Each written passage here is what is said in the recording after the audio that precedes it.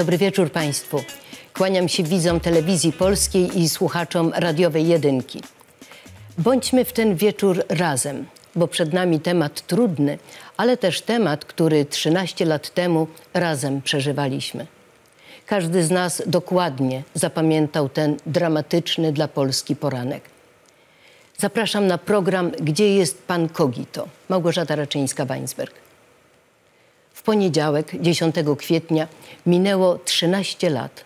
13 lat od katastrofy smoleńskiej. To bez wątpienia wydarzenie konstytutywne dla polskiej polityki, życia społecznego, katalizator emocji i postaw, także moralnych. Stosunek do tych wydarzeń jest rodzajem określenia.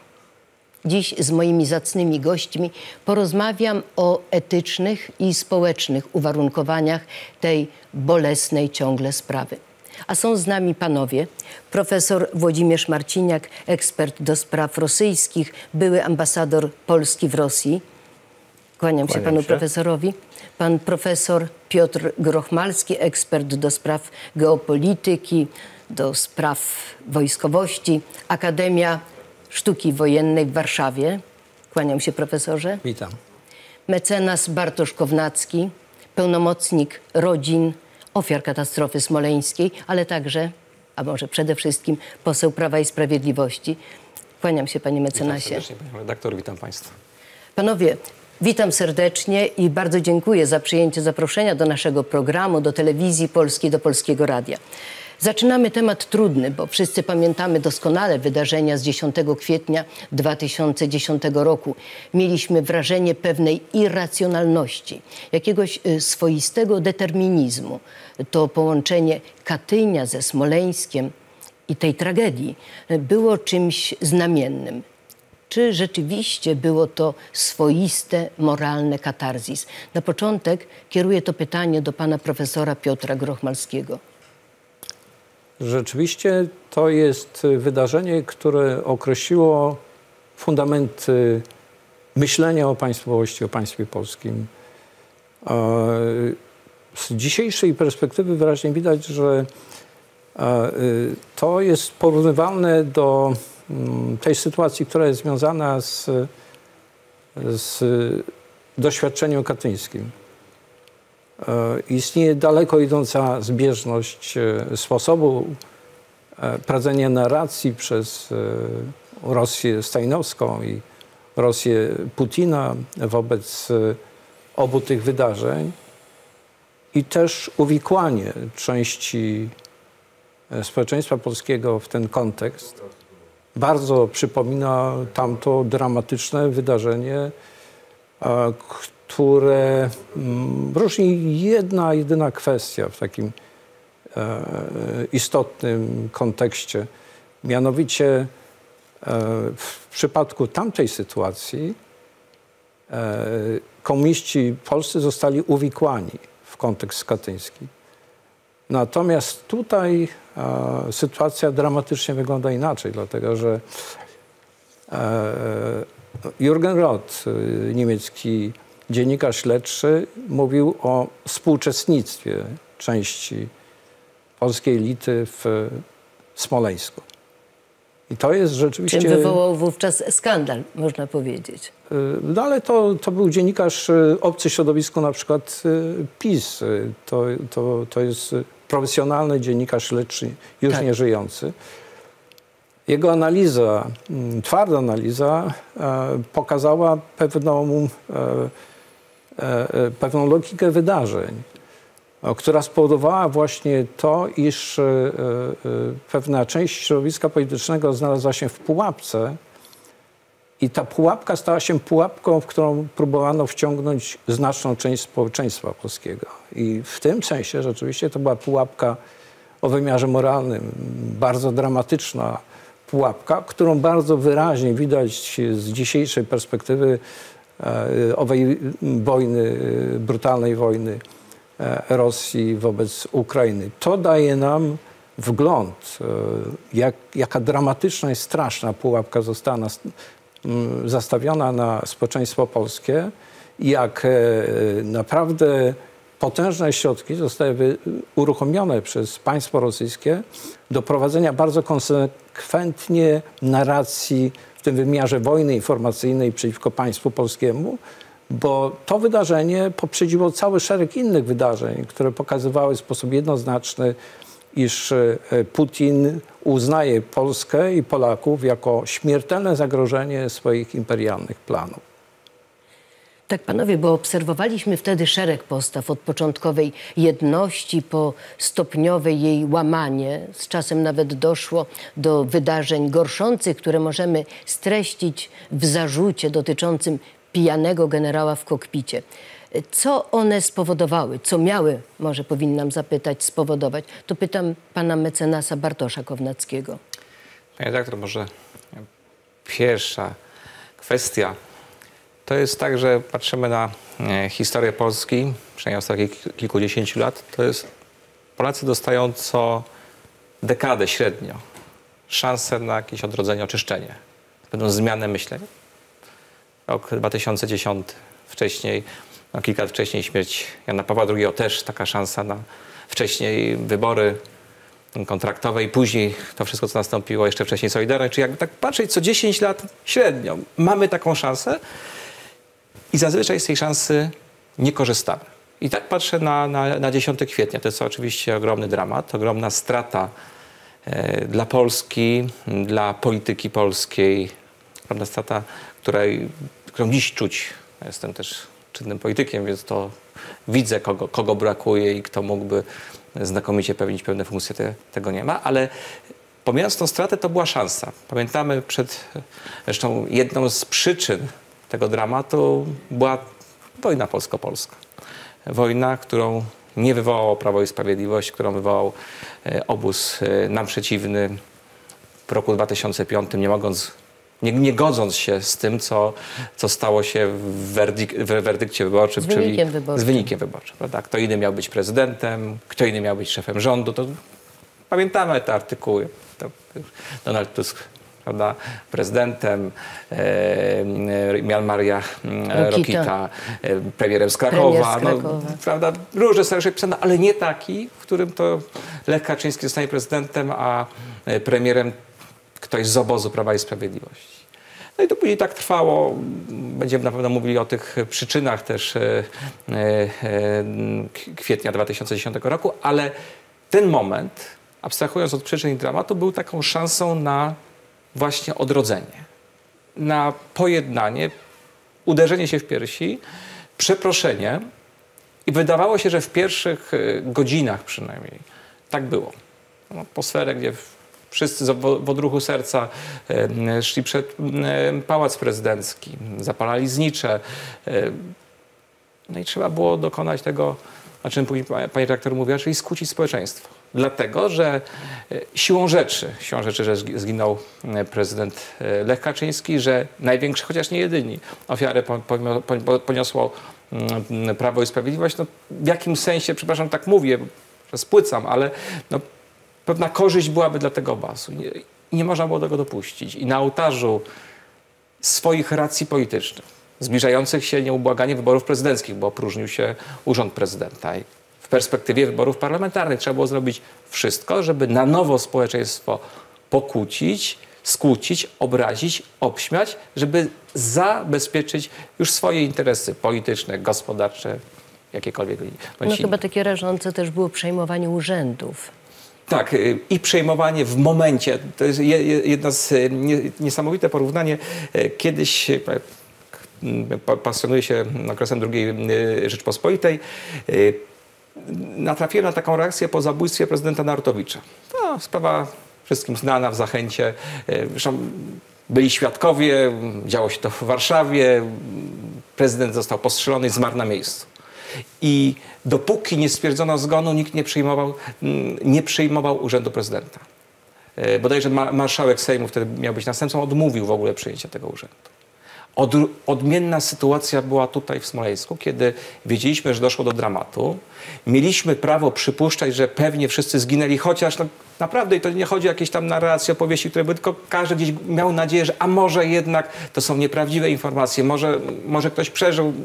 Nawet takie relacje, gdzie jeden z polityków lewicy tłumaczył, że salonka prezydencka jest wzmocniona i na pewno prezydent to, to przeżył. No, to były pierwsze godziny, chwile po, po katastrofie z bardzo utrudnionym przepływem informacji i relacja obecnego prezydenta Andrzeja Dudy, wtedy najwyższego chyba rangą urzędnika kancelarii prezydenta będącego w Polsce, y, którego zmuszano do tego, żeby prze, jakby zgodził się na przekazanie Bronisławowi Komorowskiemu urzędu. Znaczy nie chciano nawet poczekać tych y, kilkunastu godzin do znalezienia ciała prezydenta, stwierdzenia zgonu i zrobienia tego tak, jak jak, jak było to w czasach, w czasach II Rzeczpospolitej. Panie mecenasie, ja jeszcze dopytam, czy, czy możemy mówić o dehumanizacji części ofiar katastrofy i ewentualnie, jeśli tak, to komu na tym zależało?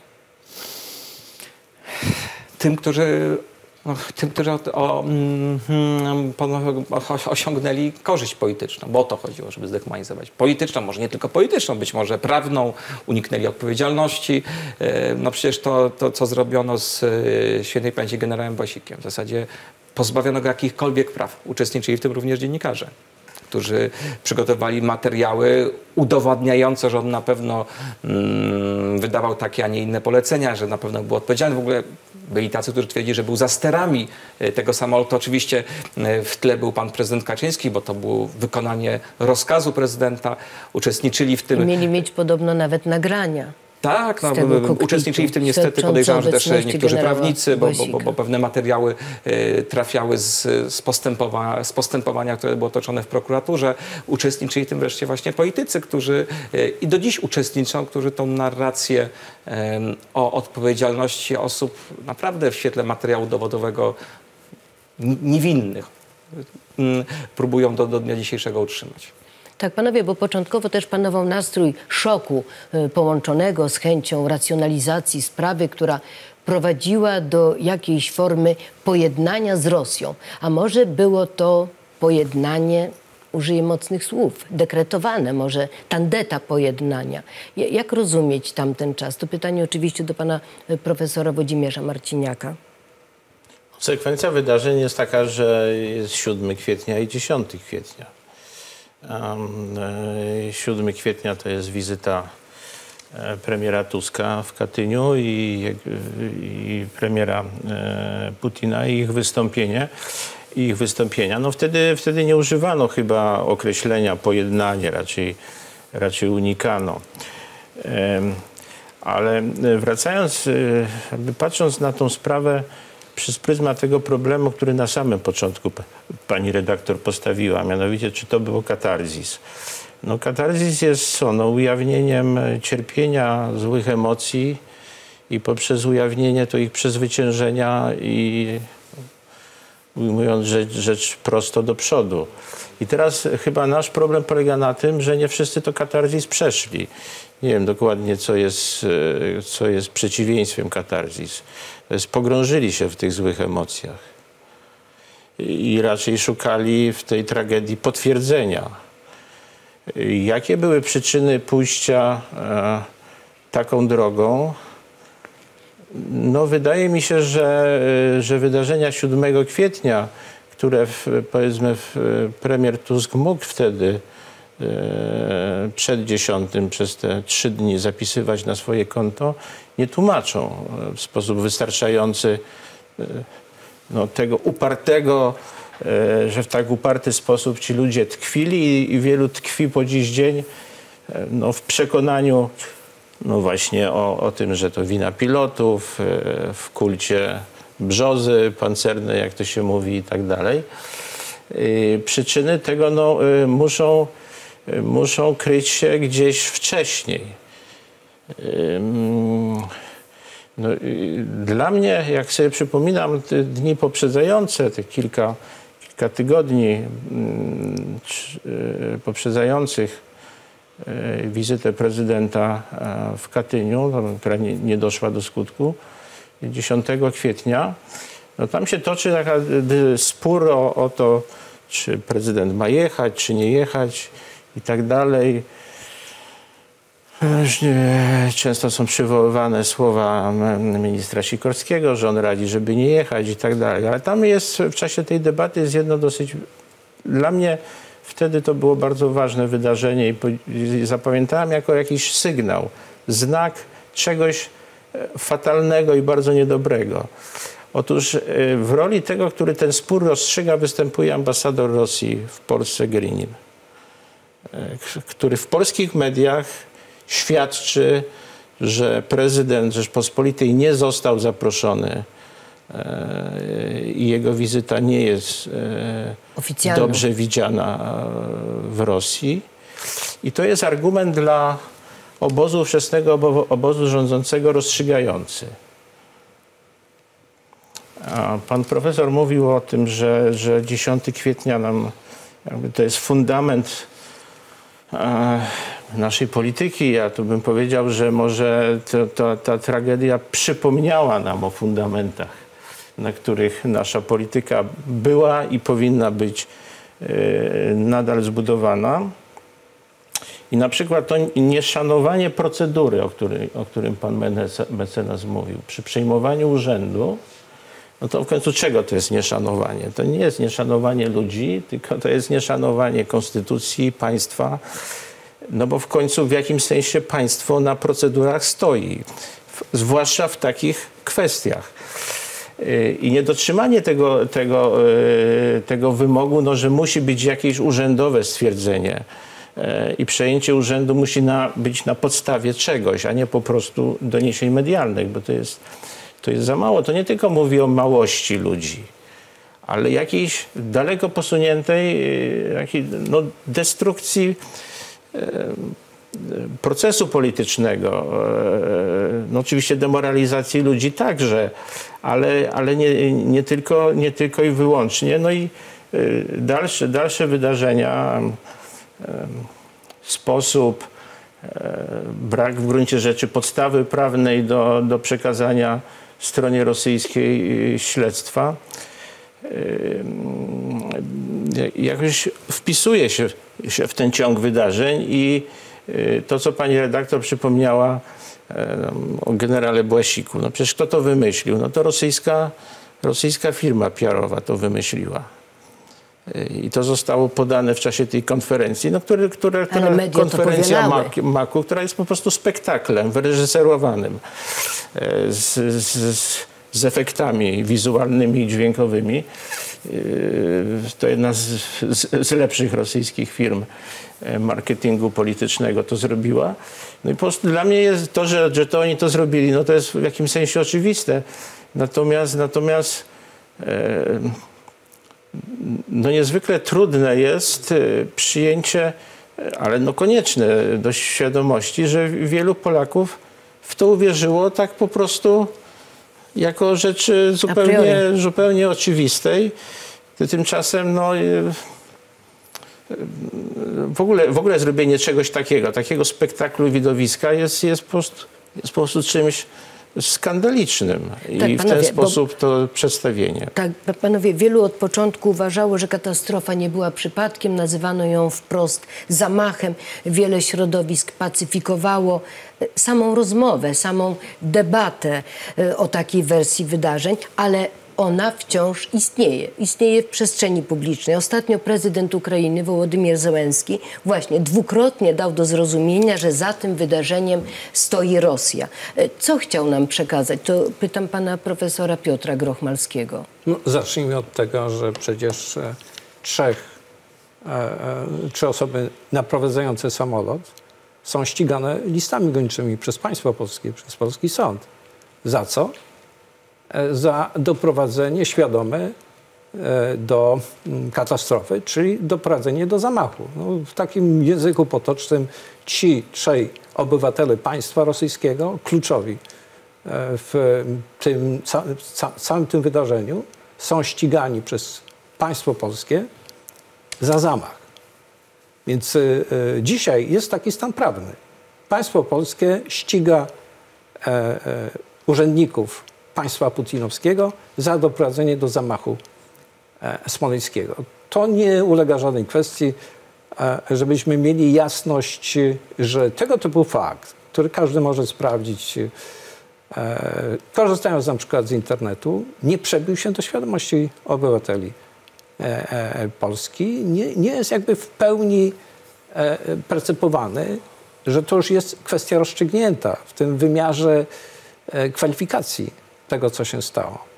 Oczywiście także w tym wymiarze analizy faktograficznej i i e, ogromnego materiału, który został przebadany, bo tego typu e, zamach ma chyba największą dokumentację i jest najlepiej przeprowadzonym dochodzeniem e, i, z, i, i w tym wymiarze także naukowym ze wszystkich znanych mi przypadków katastrof lotniczych. Tutaj zebrany materiał z punktu widzenia naukowego nie spotkał się z żadną próbą podważenia. Więc e, żebyśmy mieli pełną świadomość, mówili takim mm, prostym językiem, co co się zdarzyło w świetle dzisiaj niepodważalnej wiedzy badawczej, naukowej, ale także zebranego materiału, ale także działań polskiej, e, polskiego wymiaru sprawiedliwości jest zamachem.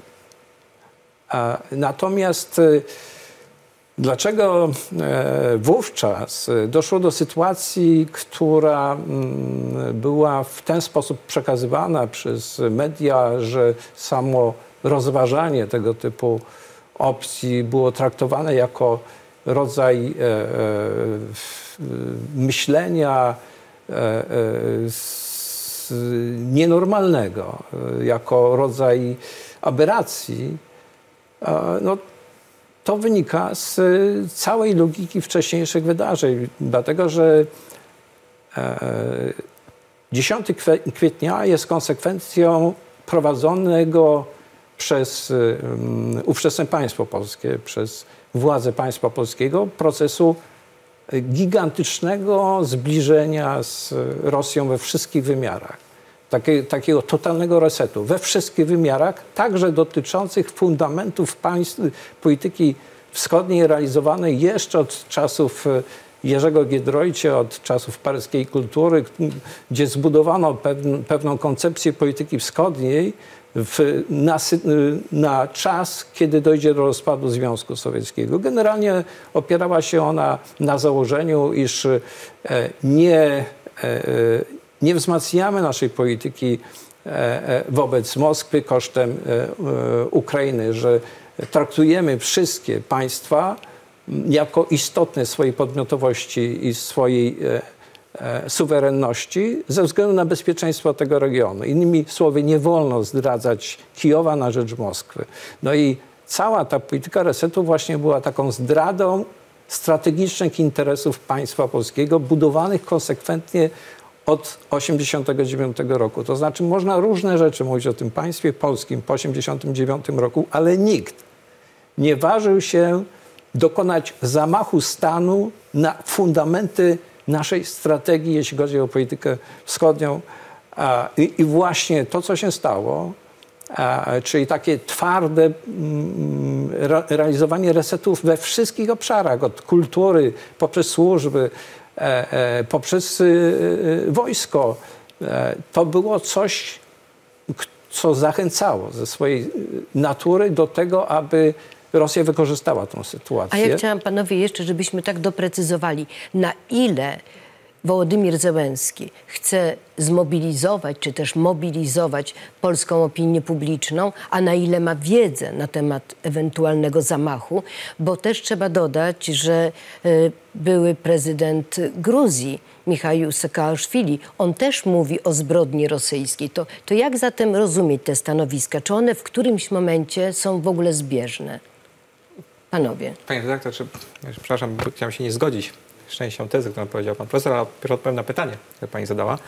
E, znaczy, ja nie sądzę, żeby sam prezydent Zełański miał jakąś nadzwyczajną wiedzę w tym zakresie. To, to, to, to osoba, która naprawdę stała się wielkiego formatu politykiem po, po, po lutym. 24 tak, lutego zeszłego roku, więc wcześniej roku. był aktorem, dziennikarzem, więc e, ale wystarczyło zapytać zwykłego mieszkańca Ukrainy, także Europy Zachodniej, e, 5 lat temu, 10 lat temu o Smoleńsk, jeżeli wiedział o co chodzi, to, to mówił, Putin wam zabił prezydenta. Także naprawdę ja rozmawiałem chociażby z, z mieszkańcami czy z, z Ukraińcami, którzy przebywali w Polsce i oni takie odczucie mieli. Takie odczucie generalnie wśród osób, które interesują się sprawą e, było od, od, od kwietnia 2010 roku. To jest jedna kwestia. Natomiast nie zgodzę się, bo tu powiedziane, pewnie pan profesor miał co innego na, na myśli, ale jednak e, odnoszę się, odnoszę się do tego pierwszego pani e, pytania.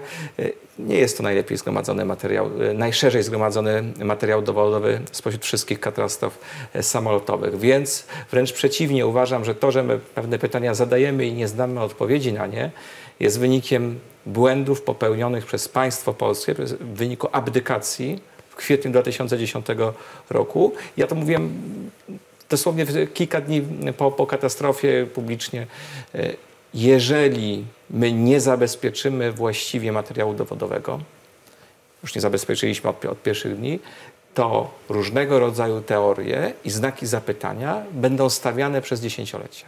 To, jest, to była ogromna odpowiedzialność. Znaczy jedną odpowiedzialnością było to, jak ta wizyta była przygotowana, to, co się zdarzyło, ale potem wielką zbrodnią było dopuszczenie do tego, żeby pytania były stawiane i niestety e, symbolem jest tego oczywiście brak wraku. Ale to jest, nie jest, je- to jest nie jedyna kwestia, bo wrak oczywiście istotny, można powiedzieć nawet kluczowy. E, Przecież jeżeli mówimy o, o, o materiale dowodowym, to niemalże w każdej poważnej katastrofie lotniczej dokonuje się rekonstrukcji wraku, nie cyfrowej, tylko kawałek po kawałku tak, takiego samolotu jest brany i, i, i budowany na szkielecie, żeby zobaczyć, jakie są uszkodzenia, czego brakuje. Tego nie było, ale ja już mówię o zupełnie innej kwestii. W mm, katastrofie Iła, który rozbił się w Lesie Kabackim w 1987 roku, w pierwszej fazie postępowania dowodowego prokuratorskiego uczestniczyło kilkudziesięciu prokuratorów. Kilkudziesięciu prokuratorów. Tam nie zginął prezydent, przypomnę. Tam nie zginął żaden ważny funkcjonariusz państwowy, było kilkudziesięciu prokuratorów. Ze strony polskiej... Podobnie było Smole- przy katastrofie samolotu holenderskiego.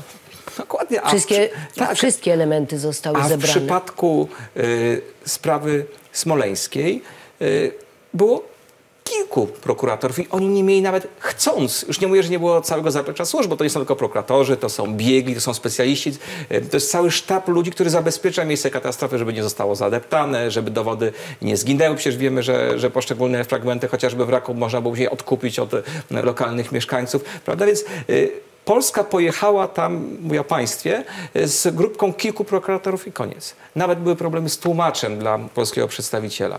No to przepraszam, jak ten materiał dowodowy miał być zost- zebrany?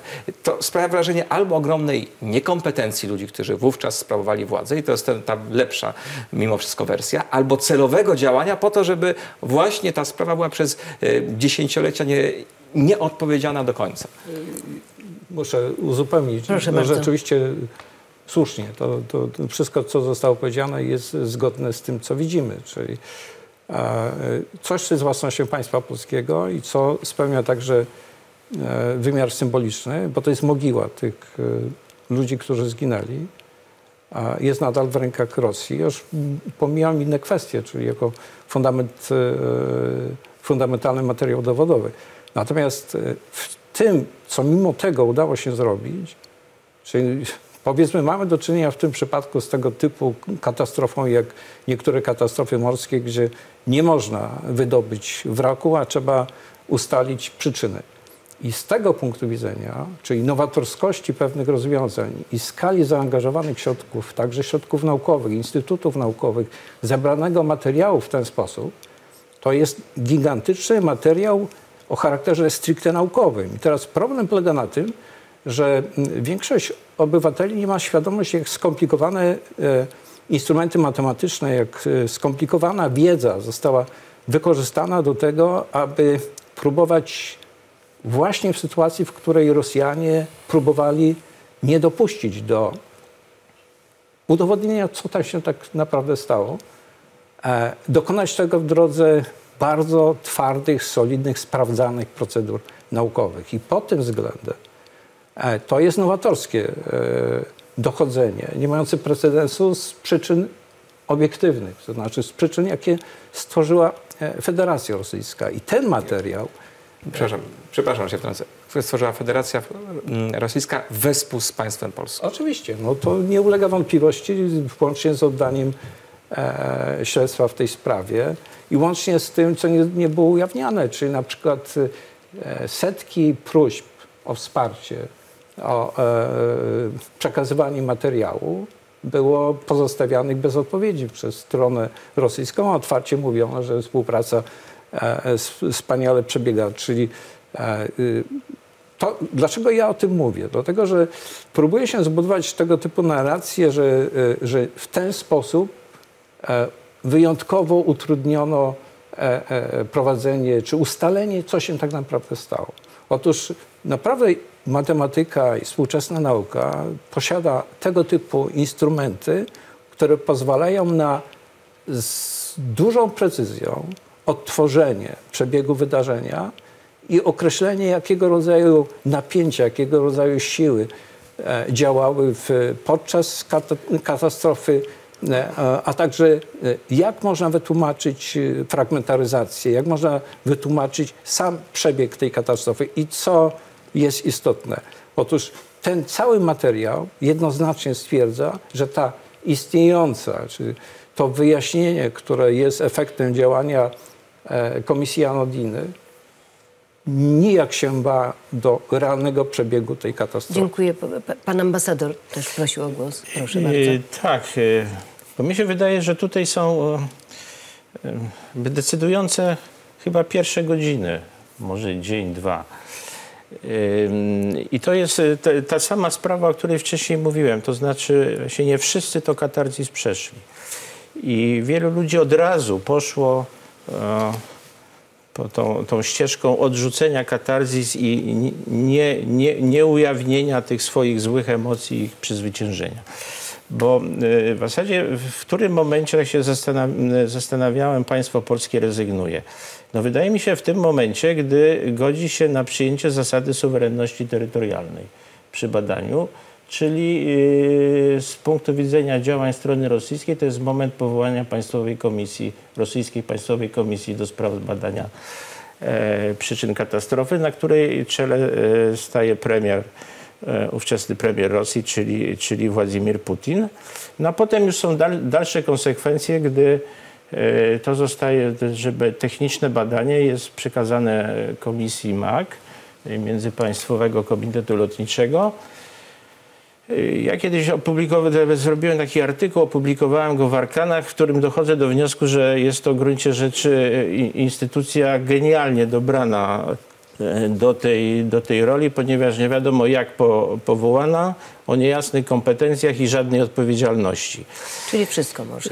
E, czyli może wszystko i w żaden sposób nie można, nie można jej kontrolować, i kontrolować tak. ani zaskarżyć. Teraz jaka, jaka jest dalsza sekwencja wydarzeń? E, Międzypaństwowa Komisja Lotnicza przygotowuje raport końcowy, który przedstawia Państwowej Komisji Rosyjskiej. Z punktu widzenia państwa polskiego ważna jest praca państwowej komisji, czyli um, umownie można powiedzieć komisji Putina, a cała reszta nie ma znaczenia, bo to jest ich wewnętrzna procedura.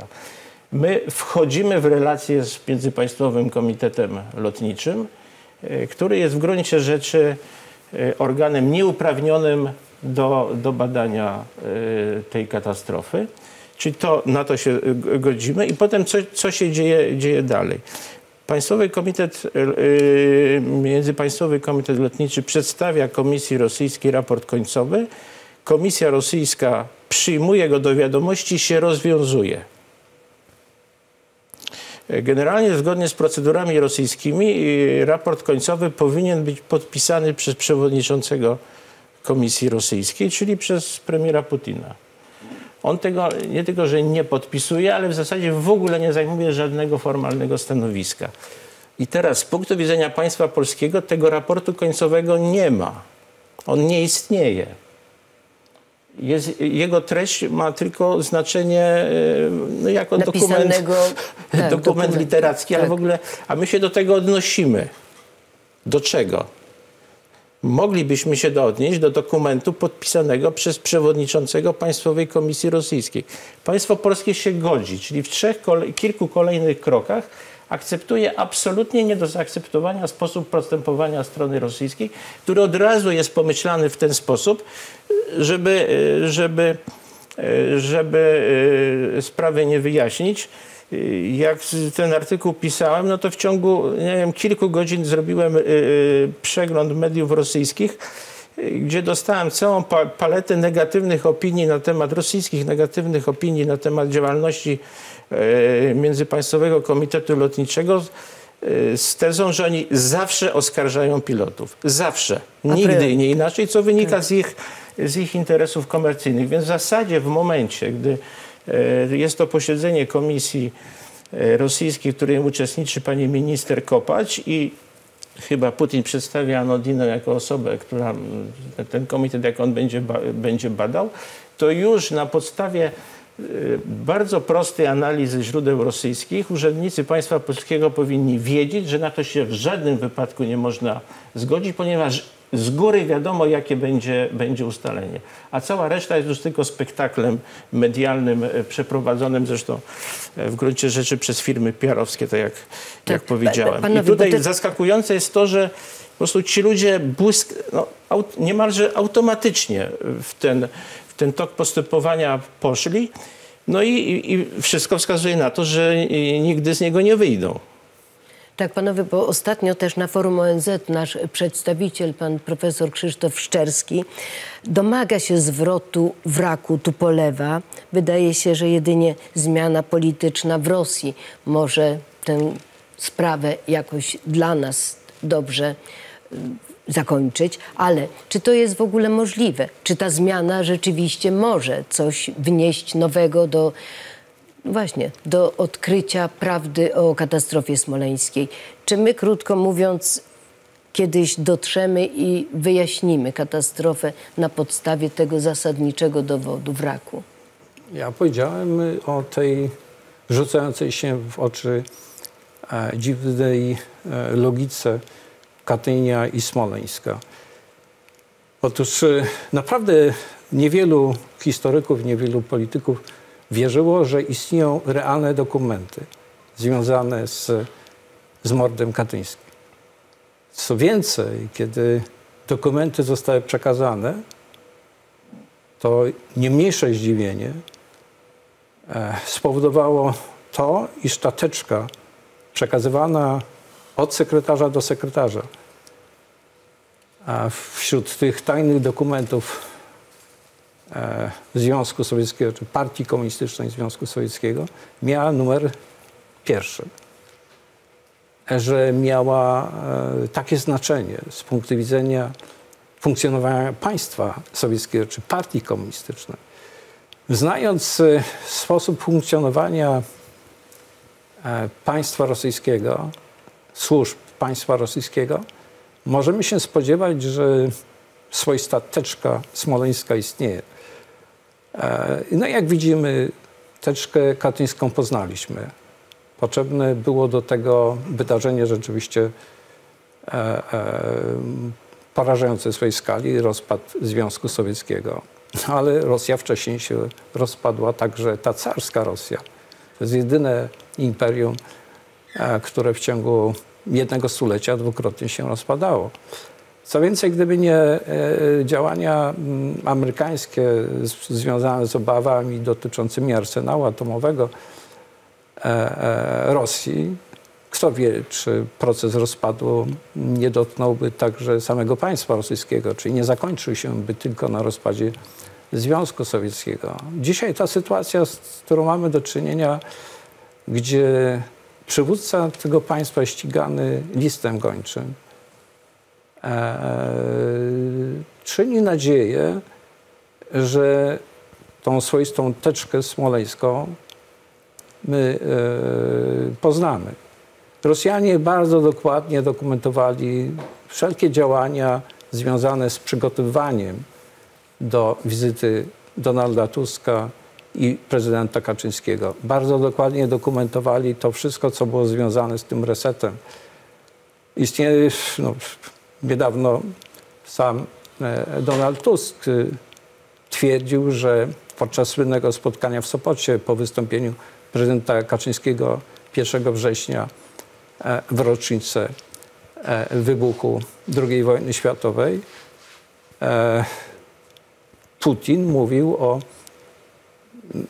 ewentualnym rozbiorze Ukrainy. No jest spór, kiedy, e, w jakich sytuacjach ten temat pojawiał się na styku Donald Tusk e, a e, Putin.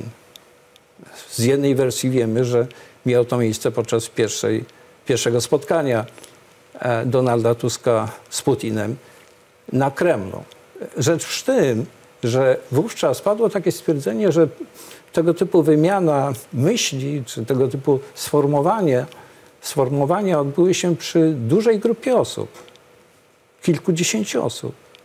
Jestem święcie przekonany, że znając mechanizmy funkcjonowania państwa rosyjskiego, pełna dokumentacja chociażby tego wydarzenia jest po stronie rosyjskiej, bo po naszej stronie nie ma żadnych notatek. Tak, panowie, bo, bo też jednocześnie po 24 lutego ubiegłego roku jasnym stało się, albo nawet można powiedzieć jasnym jest, że Putin jest zdolny do wszystkiego, że mógł zabić polskiego prezydenta, ale czy to zrobił, tego nie wiemy, ale wiemy, że musimy i taką wersję wydarzeń, z, z, tego co panowie mówią, traktować y, rzeczywiście serio, bardzo poważnie. Na ile w realiach rosyjskich jest to metoda, panie ambasadorze? Czy śmierć, mordy to typowi sojusznicy Kremla? No, jakby to powiedzieć, rutyna, można by powiedzieć. Yy, ale tutaj w wypadku teczki katyńskiej, o której pan profesor mówił, no, zachowało się e, pismo Berii do Komitetu Centralnego z podpisami. Jest uchwała biura politycznego później przyjęta. Przed chwilą mówiłem, Putin nie podpisał raportu końcowego. Oni się czegoś nauczyli. To jest jednak, to nie jest prosta kontynuacja Związku Sowieckiego. E, dlatego, dlatego właśnie powiedzmy e, w czasach stalinowskich zabójstwa były, e, no jakby to powiedzieć, rutyną urzędową. Były Ale rozdzielniki. Z, z ostatnich dekad też możemy długą listę. Ile, w jakiej guberni trzeba rozstrzelać i tak dalej, są telegramy. A teraz są to skrytobójstwa, po których zaciera się wszystkie ślady. Panie profesorze, jest list, jest wymiana korespondencji między Bierezowskim a Putinem. Putin się tam przedstawia nie z imienia i nazwiska, ale jest e, ta korespondencja, która zresztą ujawnił Bierezowski. Taka gra w stylu Mikołaja między ofiarą mhm. i tym bandytą, który się dobiera. On mu tam przedstawia, co, co będzie robił wobec jego rodziny, najbliższych. Co cię czeka? Nie, no to tak, ale to y, mówimy o tej, o, konkretnie o tej, o tej sprawie. Nie, ale czy... pytam też, o, czy, czy to jest norma Kremla, tak? Czy to jest metoda Kremla? Mordy, zabójstwa, skrytobójstwa. No, y, jakby to tak socjologicznie, jeśli by opisać grupę, grupę rządzącą, no to jest mafia. Znaczy rozumiejąc ją właśnie tak e, analitycznie, to znaczy połączenie służb specjalnych, świata polityki, dziennikarzy, prawników i, i kryminału. I to, i, to są takie, I to są takie metody. E, I to jest jednak moim zdaniem trochę inny system. E, to można go określić jako jeszcze gorszy i bardziej zdegradowany niż system sowiecki.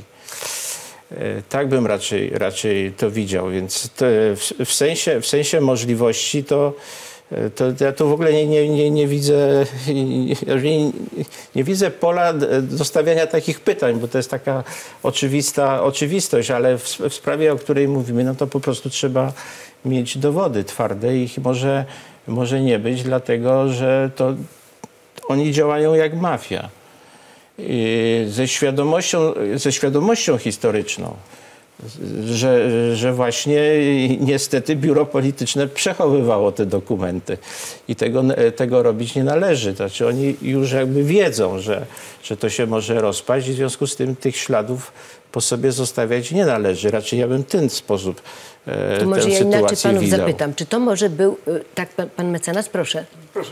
proszę. Tak, bo ja chciałam zapytać panowie, czy to nie był przypadkiem taki pierwszy akt wojny hybrydowej z Zachodem, e, że taki test, jak daleko możemy się posunąć, jak, jakie mamy możliwości, prawda? I czy taka wersja wydarzeń w ogóle ma rację bytu? Czy możemy o tym dyskutować? Nawet powiedziałbym dalej, bo to, że jesteśmy zgodni, że Putin jest zdolny i ta ekipa jest zdolna zamordować e, prezydenta. Chociażby wiemy o Zełęskim, że to było po prostu cel, wyeliminowanie fizyczne prezydenta i zajęcie Ukrainy. No taki był plan Putina, on się nie udał. E, jeżeli jest w stanie zamordować swoich oponentów politycznych, dziennikarzy, swoich obywateli, wysadzając e, bloki, to równie dobrze jest, nie ma dla niego problemu w zamordowaniu prezydenta, który, i tutaj to jest rzecz bardzo ważna, nie tylko mm, został znienawidzony po, po, po sprawie gruzińskiej, Zawsze mówi się, to jest pewna, mogła, mogła być, jeżeli mówimy o motywach ewentualnych, to mogła być to zemsta za Gruzję. Ja bym powiedział nie. Oczywiście zemsta w e, takiej mafijnej grupie jest rzeczą bardzo istotną, ale my dzisiaj jesteśmy bogaci o rok 2014, rok 2022. I otóż e, przejdźmy do tej bieżącej polityki e, służby rosyjskie dokładnie wiedziały, z kim mają do czynienia, myślę o, o, o świętej pamięci Lechu Kaczyńskim. Y, wiedzieli także po Gruzji, do czego jest zdolny i, i, jak wiele jest w stanie zaryzykować i, i, jak zmobilizować y, Zachód, bo mało kto pamięta, że ta mobilizacja i wizyta w Tbilisi wymusiła na innych państwach Europy Zachodniej interwencję w Moskwie, więc to, to, to, to trzeba też w tym kontekście patrzeć. I wyeliminowanie Lecha Kaczyńskiego stawiało otwartą drogę do Ukrainy. E, no, pokrzyżowana w tym wszystkim, co się stało, ale proszę sobie zadać pytanie, czy rzeczywiście Ukraina uzyskałaby to wsparcie, które uzyskuje od roku? E, czy e, rzeczywiście mogłaby się bronić, gdyby nie determinacja obecnej władzy, która jest kontynuacją, no, to, są, to są spadko, premier Morawiecki, no przecież jest Jarosław Kaczyński, to są spadkobiercy myśli Lecha Kaczyńskiego. Czy gdyby był inny premier, chociażby Donald Tusk, o którym tu przed chwilą rozmawialiśmy, jak, z jakich powodów, jakie to były motywy, zostawmy to, ale jak położył 10 kwietnia, jak oddał to wszystko w ręce rosyjskie, mm, nie zabezpieczył interesów polskich. Czy, i mówię tutaj najbardziej łagodnie, jak można powiedzieć, czy przestraszony Donald Tusk i no, mistrzowie jego mm, aparatu państwowego y, nie doradzaliby oddajmy Ukrainę bo musimy ratować naszą niepodległość, bo nasza armia jest słaba, pewnie liczyłaby w roku 2022 90-80 no, tysięcy żołnierzy. W zasadzie to powiedział. Mówił to wówczas. Pytanie, co by powiedział, gdyby był ministrem mhm. spraw zagranicznych w 2022 roku. Więc jeżeli mówimy o motywach, to na pewno te motywy były i one y, były warunkiem sine qua non tego, żeby móc rozpocząć operację Ukraina. Panie profesorze, mówię do pana profesora y, Piotra Grochmalskiego. Pan wspomniał o tym, że Donald Tusk unika tego tematu, że pan y, przeczytał te, y, tę literaturę, którą wydał, ale tam są także właśnie y, takie uniki, o których Pan wspomniał, dotyczące sprawy smoleńskiej, czy uniki w sensie pomijania tematu w ogóle, tak ważnego, tak ważnego dla wszystkich Polaków, dla Polski. No, w swoim pamiętniku szczerze, przy żadnej rocznicy rocznicy no, wydarzenia, które było w skali świata szokujące. Były premier państwa polskiego, mm, nie popełnia żadnej notatki. Nie ma. W tym, w tym jego pamiętniku nie ma 10 kwietnia każdego roku. Nic. Dlaczego pańskim zdaniem? Bo to należy zapytać autora tego dzieła. A pan Dlaczego? jako ekspert? Jakąś odpowiedź znajduję w tym dziele, które było przygotowywane e, z myślą o mm, tej przyszłej kampanii wyborczej i wydanego e, tuż przed wybuchem wojny, mm, w którym właśnie ten temat jest wprost postawiony. Tam wręcz e, Donald Tusk pisze, że czasami, kiedy idzie ulicą, myśli sobie, że co piąty mijający go człowiek może patrzeć na niego jako na człowieka, który wspólnie z Putinem zamordował prezydenta, a w każdym razie przyczynił się do tego e, wydarzenia. W momencie, w którym Donald Tusk to pisał według danych badań e, opinii publicznej no mniej więcej 34% uważało, że doszło tam do zamachu. Y, po agresji na Ukrainę 48%, czyli wracając do tego tekstu Donalda Tuska, co drugi miejący go Polak, tak w każdym razie stwierdza Donald Tusk, może widzieć w nim współmordercę lub też człowieka, który się przyczynił do tej sytuacji. To jest gigantyczne obciążenie. Powiem, w historii państwa polskiego żaden inny polityk nie mógłby sobie zadać takiego pytania, nie mógłby myśleć w ten sposób. To jest coś rzeczywiście, co pokazuje skalę obciążenia, przy której większość polityków, gdyby zadawała sobie tego typu pytanie, to jest to chyba poza granicą, granicą szaleństwa i poza granicą bycia obywatelem państwa polskiego. Jeśli premier patrzy na ludzi mijających go, na współrodaków i zastanawia się, że co piąty widzi we mnie potencjalnego mordercę prezydenta Rzeczpospolitej, no, przełóżmy to na, na realia. No, żyjemy we współczesnym świecie. I porażające i przerażające. Przerażające, ale próbowało w ten sposób zdetonować skalę tego, co tak właśnie wygląda. Rzeczywiście pokazał nam Donald Tusk, jak wygląda sytuacja polityka, który zapętlił się poprzez działania Federacji Rosyjskiej w sytuację bez precedensu. Bo jak powtarzam, żaden z komunistów wobec Katynia nie mógłby w ten sposób o sobie powiedzieć. Panowie, to, to pójdę dalej i, i jeszcze zapytam o inne kwestie. Co ta katastrofa tak naprawdę y, zmieniła? Bo niewątpliwie środowisko Prawa i Sprawiedliwości od początku najmocniej domagało się wyjaśnienia sprawy. Dlaczego powiemy? Bo niby pytanie takie oczywiste. Skoro oczywiste, to trzeba powiedzieć, że ono stanowi jednak oś sporu politycznego, który ciągle żyje, ciągle jest aktywny. Y, może jest ono właśnie kluczem do zrozumienia tego naszego podziału. Panie mecenasie. Mi się wydaje, że pomijając ten element bardzo emocjonalny, bo zginął mm, brat przywódca, przywódcy partii, zginęli e, politycy tejże partii bardzo prominentni, to jest kwestia sposobu patrzenia na państwo. E, mówiliśmy trochę o tym właśnie przekazywaniu władzy. E, czy można pozwolić, aby taka sprawa, w której ginie już nie tylko prezydent, ale du duża część elity politycznej, to można przejść nad tym do porządku dziennego, czy jednak w obowiązku państwa jest taką sprawę wyjaśnić.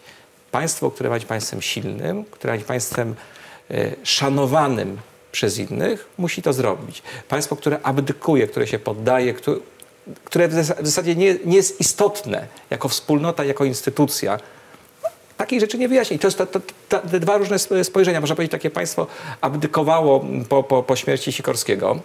Prawda? Ale ono abdykowało z innych powodów, bo go de facto nie było. To była, było, był rząd PRL-u no i rząd na uchodźstwie, który nie miał żadnych narzędzi. I tej sprawy nie można było przez dziesięciolecia wyjaśnić. Do dziś dnia jest pewną zagadką.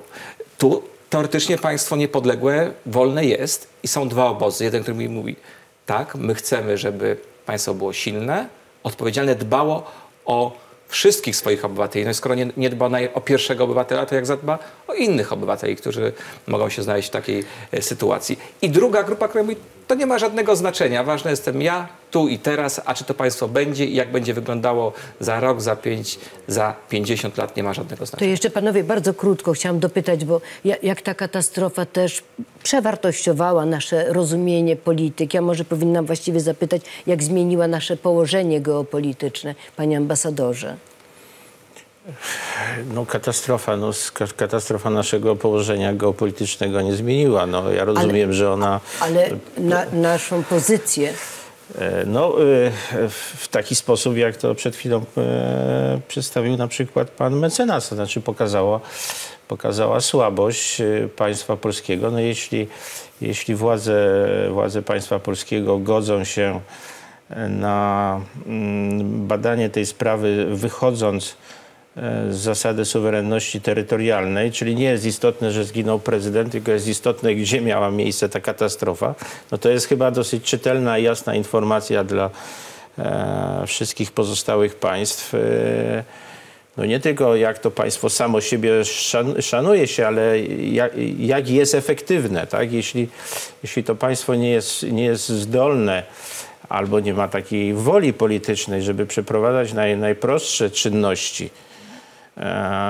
no, obowiązkowe w takiej sytuacji, e, no to znaczy, że jest to państwo słabe, z którym można się nie liczyć. I wydaje mi się, że e, charakter stosunków, który się ułożył na przykład, czy relacji w stosunku do Polski na przykład potem w Unii Europejskiej, no to jest jakaś konsekwencja zademonstrowanej wtedy no chyba abdykacji z części przynajmniej suwerenności państwa polskiego e, przez, przez polskie władze. No bo w końcu e, kto, kto ma się o, te, o tą, tą sprawę upominać, kto ma badać, jeśli, jeśli nie, ma, nie ma polskiej e, rządowej tak, inicjatywy.